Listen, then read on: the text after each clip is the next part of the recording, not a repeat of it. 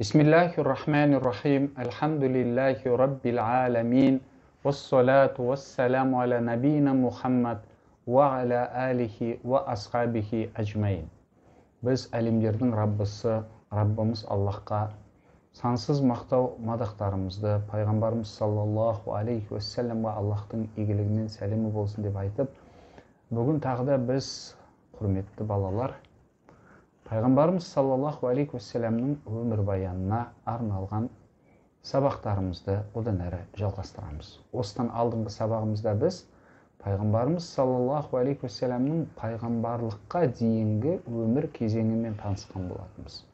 Және соңғы біз танысқан нәрсе ақпарат ол пайғамбарымыз саллаллаху алейхи уассаламға оңашалануға деген сүйіспеншілік жүрегіне салынды. Сөйтетінде ол хира тауына барып оңашаланатын.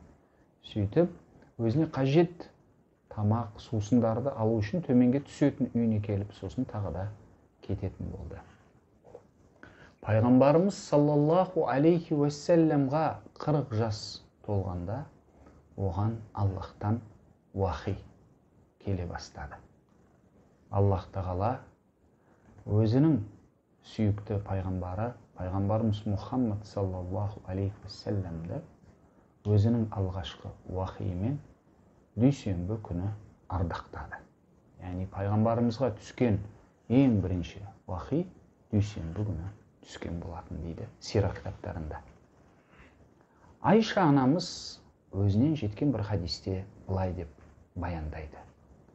Аллахтың елшісіне саллаллаху алейхи уассалам уахидің келіп түсуі басында ол игі түстер болатын. Ол игі түстерден басталады. Яғни ол алғашында игі түстер көретін. Яғни сол түстер таңғы шуақ сияқты келетін. Кейіннен оған дейді айша анамыз оңашалану ұнайтын болды.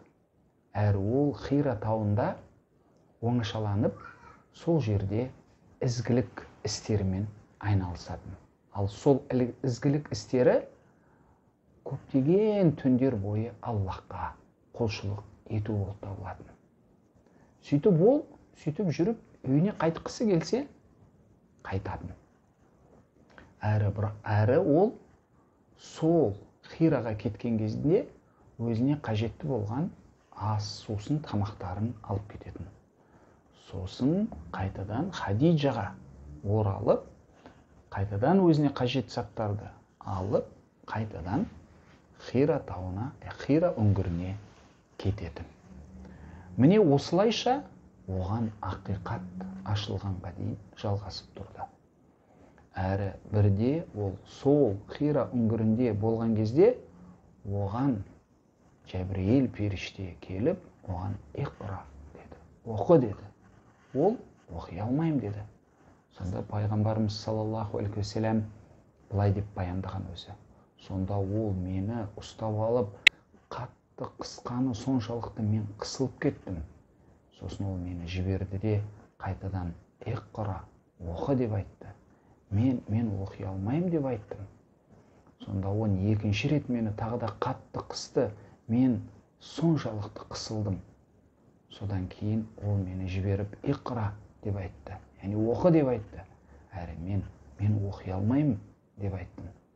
Сонда ол мені үшінші рет қысты да содан кейін жіберіп иқра бисми раббикаллази халақ халақал инсана мин алақ иқра уа раббукал акрам аллази аллама бил қалам алламал инсана ма лам яғлам деді яғни оқы раббыңның атымен ол барлық нәрсені жаратты ол адамды ұйыған қаннан жаратты оқы өйткені сенің раббың аса жомарт деді айша анамыз өзінің хадисін былай жалғастырған әрі аллахтың елшісі сол кезде жүрегі қорқыныштан дірілдеп әлгі хира тауынан түсіп үйіне қайтты. Сөйтіп ол жылдам үйіне келді де хадижаға келіп мені жабыңдар мені жабыңдар деді. Әрі оның үстін жапқаннан кейін ол осындай күйде қала берді. Яғни өзіне келгенше оның бойынан үрей қорқыныш кеткенше. Содан кейін ол өзінің хадижа әйеліне осы туралы айтып берді. Және мен өзім үшін қорықтым деді. Хадижа анамыз болса пайғамбарымыз саллаллаху алейхи уассаламға жоқ жоқ аллахпен ант етем. Аллах сені ешқашан қорламайды. Өйткені сен туысқандық қатынастарды ұстайсың. Өйткені сен әлсіздерге көмектесесің. Өйткені сен кедейлерге садақа бересің өйткені сен адамдарға қонақжайлылық танытасың және оларға тағдырдың тауқыметтерін көтеруге қолдау жасайсың деді. Содан кейін хадижа анамыз онымен бірге өз үйінен шығып оны өзінің көкесі уарақа бин науфал бин асад бин абдул узза деген кісіге апарды. Ал ол исламға дейінгі жахилиет кезінде басқа мүшрик арабтардай сияқты емес еді. Ол исламды ол христиандықты қабылдаған үлкен жасқа келген кісі еді. Және ол оқымысты болатын. Яғни сол христиандардың кітаптарын оқитын. Және ол өзінің жазуларын жазу үшін яхудилердің иә, жазуын қолданатын.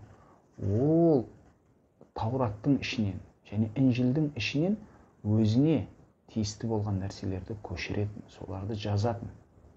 Әрі сол кезде ол зағип шал болатын.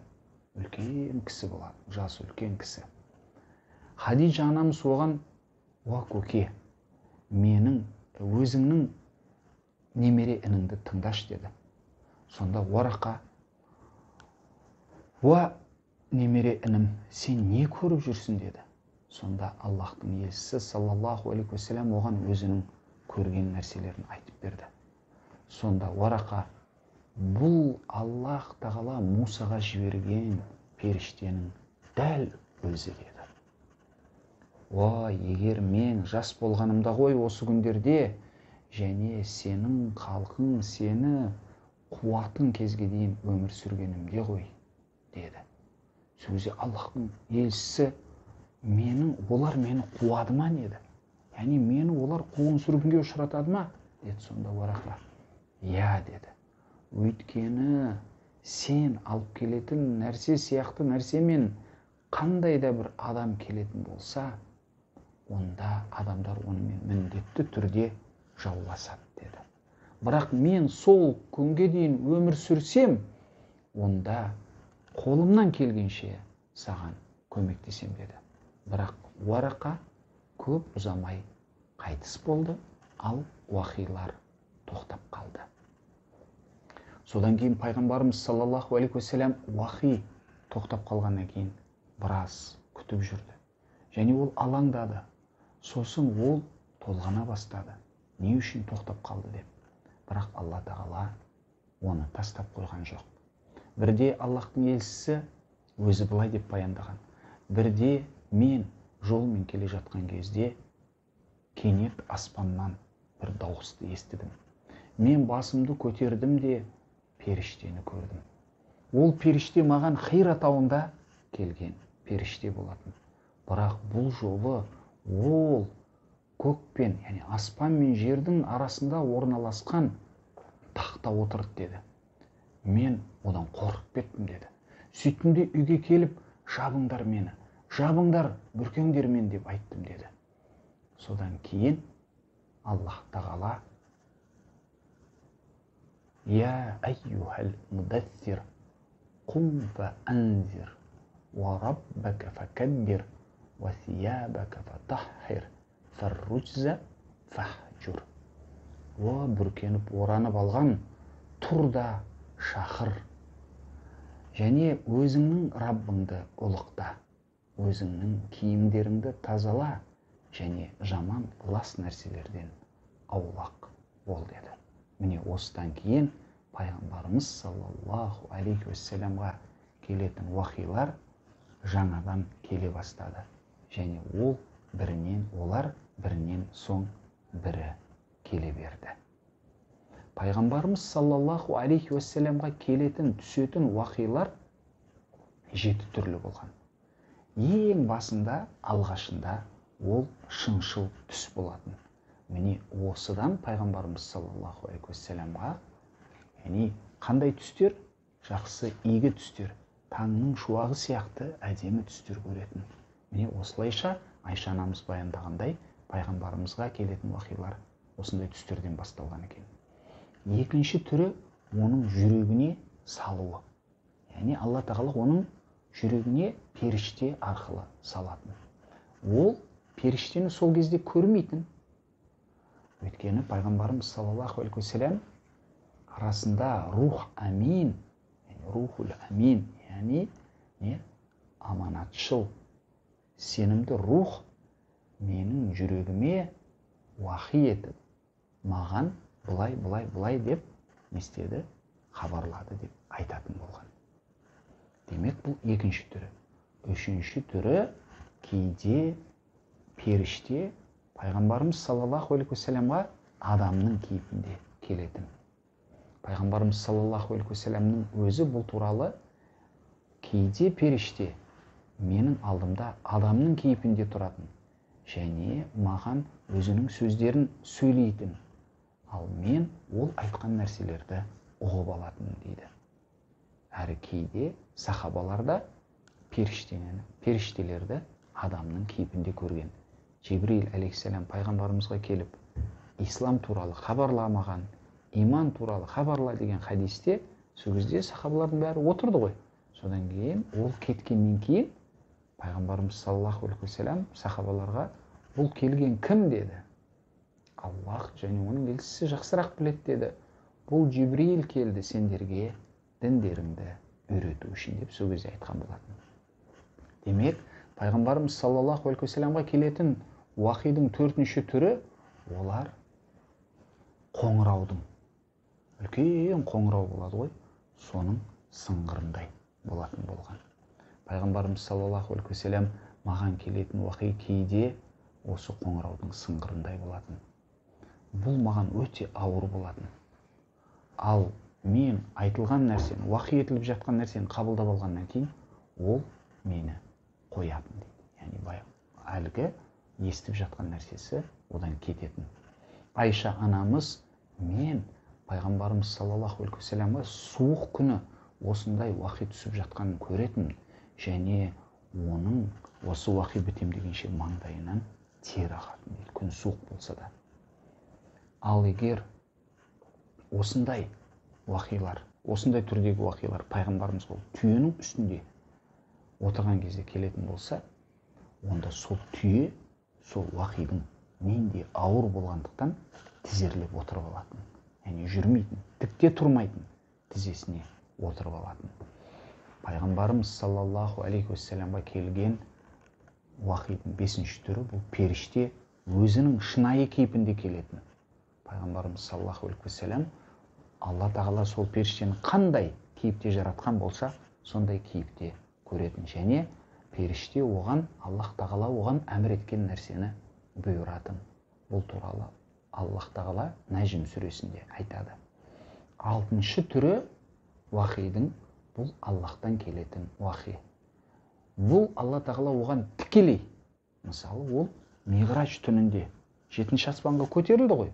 Пайғамбарымыз саллаллаху алейхи вассалам жетінші аспанның үстінде болған кезде сол кезде аллах тағала оған тікелей бес уақыт намаз оқуды бұйырды.